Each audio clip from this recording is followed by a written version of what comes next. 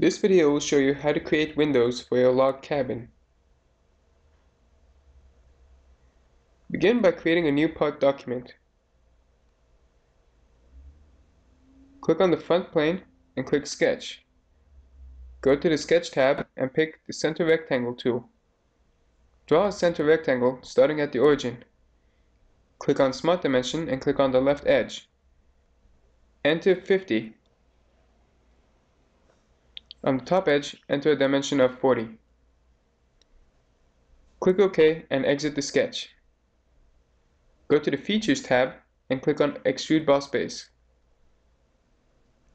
Enter a depth of 5 and click OK.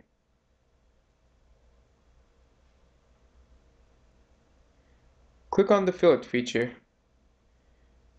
Click on these edges as shown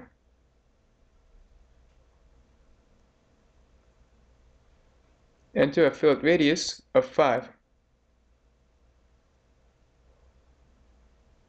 Click OK.